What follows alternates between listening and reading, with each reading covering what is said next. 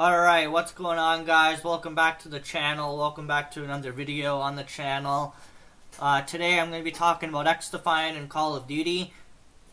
Um, Call of Duty Black Ops 6 is reportedly going to have less SBMM because of XDefiant, which is good. And I just want to say something. XDefiant is not that bad of a game, but I can't believe they didn't get the hit registration fixed before launch and the servers went down at launch, but that's to be expected. It's a it's a brand new game in the arena FPS genre. Um, yeah, let me know what you guys think of XDefiant in the comments down below, and by uh, and subscribe if you guys want to. You don't have to. Um, I, I I would appreciate some subscriptions.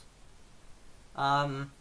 Yeah, but Call of Duty is going to have less SBMM in Black Ops 6. Yay.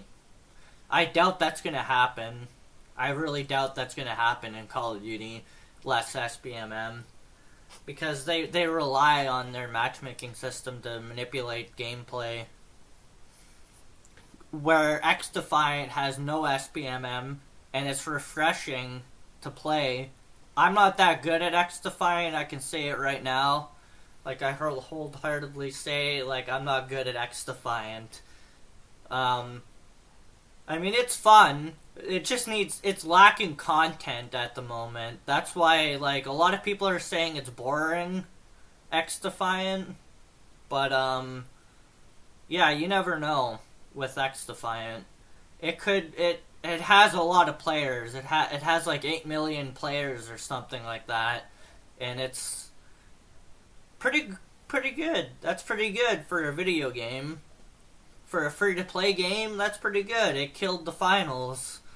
If anybody remembers the finals, I remember that game. I played a little bit of it, and I wasn't really good at it.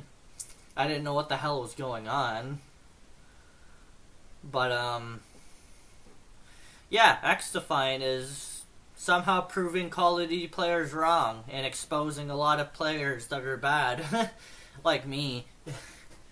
I just need to like play it and get good at it, if anything. But yeah, that's the video that I wanted to make. Call of Duty and X Defiant. Yay, Call of Duty, yay, Black Ops 6. Now, I gotta say, before I go, Black Ops 6 and Treyarch with the marketing so far, on point. That is just good to see. We're seeing a lot of teasers for Black Ops 6 in the Truth Lies website that's up right now. Which that's pretty good for a Call of Duty game to have so much marketing behind it. We don't really, we rarely see that in Call of Duty nowadays. Rarely see that. It's pretty good. Anyways, guys, see you later.